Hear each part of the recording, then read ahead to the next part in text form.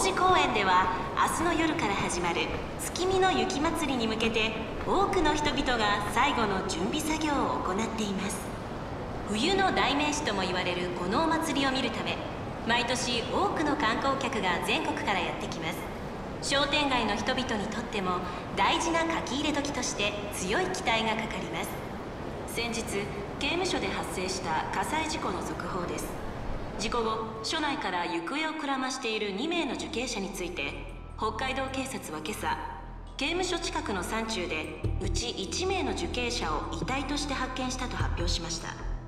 残る1名の受刑者に関しても現在も付近を逃走中の可能性が高いとみて全国に指名手配しました。指名手配されたのは元搭乗会計組員の冴島大河受刑者です。北海道警察は冴島受刑者が札幌市内に現れる可能性が高いという情報もあることから現在月見の周辺に警戒態勢を敷いています。兄貴網走刑務所が火災って一体それに遺体が一人見つかったって。あのアジトの用意ができました。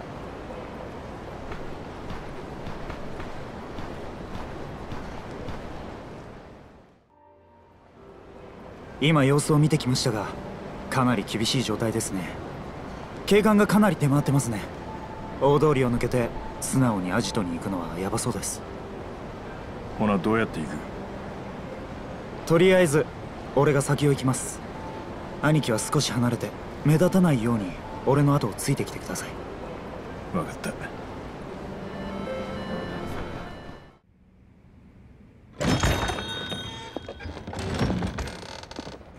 ここです。ようこんなとこ見つけたな。昔俺の兄弟分がやってた馴染みのバーです。当然営業してると思って立ち寄ってみたんですがこの通りのありさまで。まこっちとしては逆に好都合だったんですが。どうぞ。座ってくださいどうやらここ10年の間月見野の町もすっかり変わっちまったみたいですね。昔はどの店も繁盛してたんですがなんだか寂しい気分になりますね。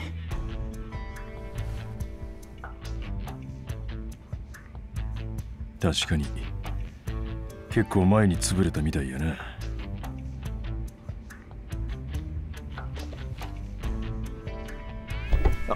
あった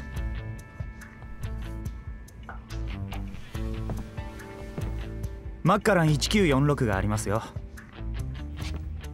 あちょっと待ってくださいね。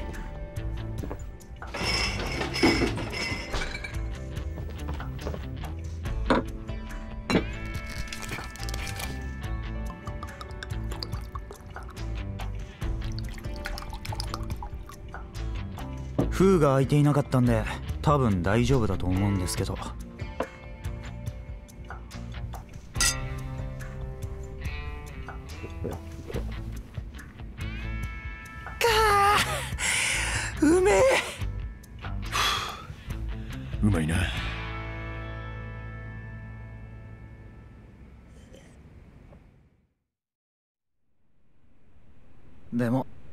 思議ですよね。本当なら今頃仮釈放でシャバに出ているはずの二人がこんな場所でこんなにビクビクしながら酒を飲むことになるなんて。いつかお前と飲みたい思ってた。悪い気分やない。しかしどうして冴島さんだけ指名手配されてしまったんですかね。俺なんか実名も公表されないまま遺体で見つかったことになってましたし。一体どういうことなんでしょう？やはりあの刑務所のことも指名手配も全部登場会が裏から手を回してやってることなんでしょうか？どうしました？ちょっと表出るわ。え？こんな状況の時にですか？ああずっとここおってもラジやがへ。いやでも表は警官がうようよしてますよ。大丈夫や。こういう状況にはある意味慣れとる。2年前もそうやったしな。そうですか。でもどうするんです？北方組の情報でも集めるつもりですか？せやな。北方いう男に会おうにもどこにおるかわからんことには近づけんしなそういうことでしたらバーアンビシャスという店に行ってみてください。そこの店なら今でもきっと北方組の人間はいるはずです。アンビシャス？はい。その店の奥には昔から北方組がやってる賭場があります。カウンターの男にチップを渡せば裏カジノへ案内してもらえるはずですそこで一暴れしたら北方の情報も得られるっちゅうわけやな。ええ。でも十分気をつけてください。北方組は一度敵とみなした相手にはとことんやるタイプの古い極道組織です。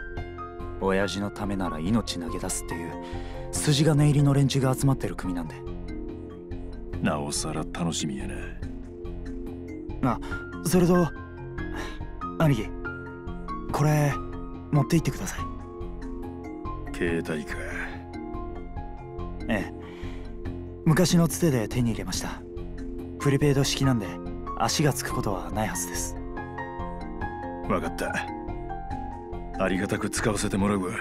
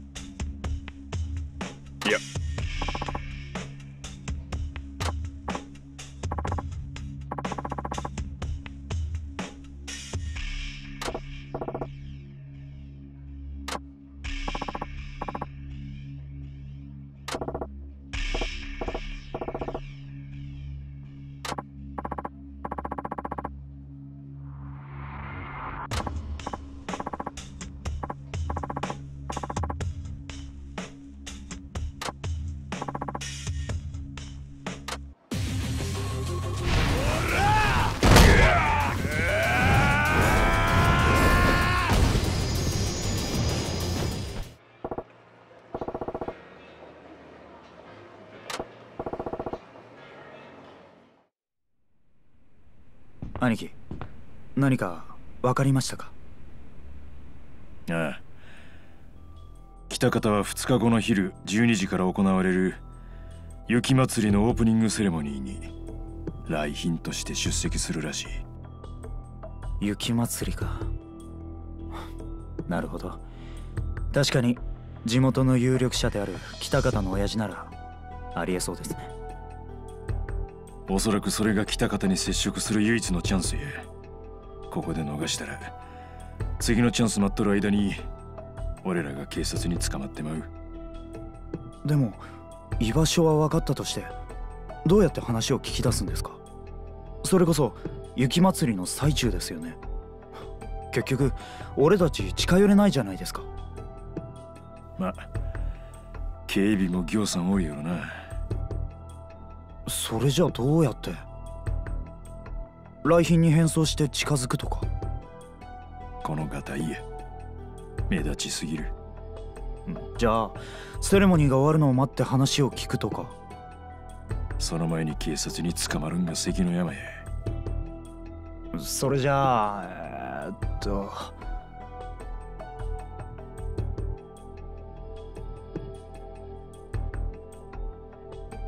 しゃあない誘拐するしかないわな。誘拐？誘拐っていつ？そないなもん決まっとるやろ。護衛も手薄になるときつまりセレモニーの真っ最中へ。ちょっと何考えてるんですか？雪祭りは町内会の祭りじゃないんですよ。それこそ何万何十万って人間がテレビの向こうでセレモニーを見てるんですそんな時に誘拐するなんてできるわけないじゃないですか。せやけどそれしか手ないやろ。これ以上時間かかったらどの道捕まって刑務所送りへ。それだけは避けなあかん。でも。こうなったら誰も来た方のこと見とらん好き狙うしかないな。例えば？ま特に作戦はないけど。はあ事務所に2人だけで勝ち込みかけるよりはマシかもしれませんけど。まあ親父も年ですし老人1人誘拐するだけならなんとかなるとは思うんですが。やっぱり無理があるとしか。その北方という男のことやけどえらい町の人間に好かれとるようやな。ええ。親父は3代目ですが組自体は戦前から月見のをまとめてきた名跡です地元住民たちとの関係も深くこの町じゃ親父を悪く言うやつなんていませんよ。あ以前東北のとある組が進出してきた時も組総出で町を守ったほどです。そうか。ほんま俺好みの男みたいやな。その北方っちゅうんは。だからちょっと信じられないんですよね。その真島さんって人を北方の親父が殺すのでいや責任感強い男やったら逆にあり得る。噂に聞いとる通り真島の兄弟が北方組に対して登場会の傘下に入るよう強要したんやったら激しい抵抗があったはずや。でも俺の知ってる親父ならそんな状況でもきっと話し合いで解決したと思うんです。だからなんだか妙に引っかかって。まあほんまのとこどうなんか。会うたらすぐわかることや。その雪祭りのセレモニーに潜り込むことにしよう。ですね。じゃあ明日は明るいうちに一度潜入のために下見をしておきましょう。ああ。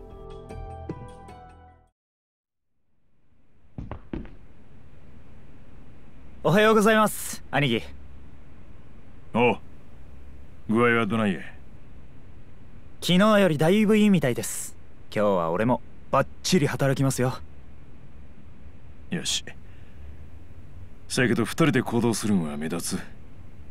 下見は別々に行動しよわかりました。じゃあ一通り下見が終わったらここに戻って合流ということで。う分かった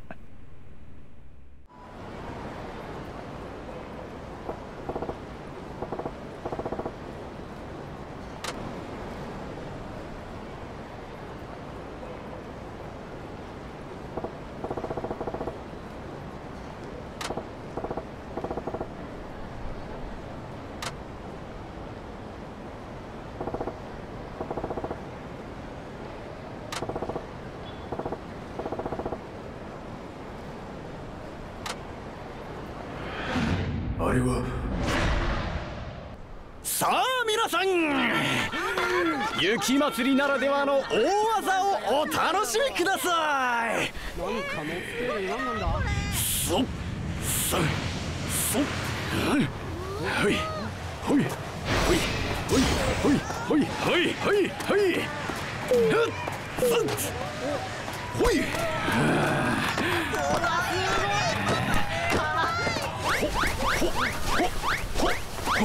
ほいほいそりゃおおおおおお早い早いおちょっとととと雪玉雪玉でしょおお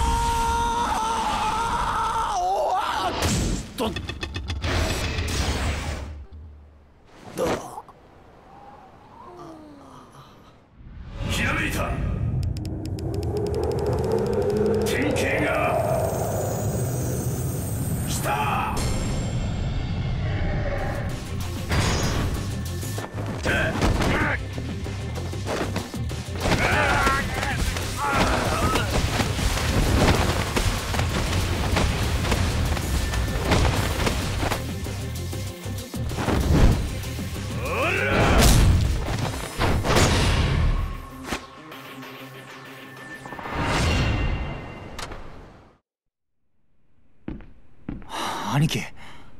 遅かったですね。会場一通り見てきたけど警備相当やな。